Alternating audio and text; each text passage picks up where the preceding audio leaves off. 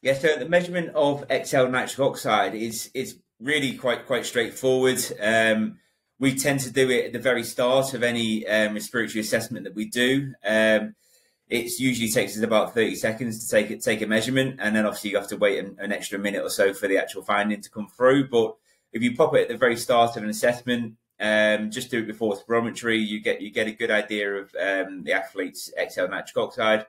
Um, obviously, it's not diagnostic, um, but it certainly helps to build the picture of the airway the airway inflammation within that athlete.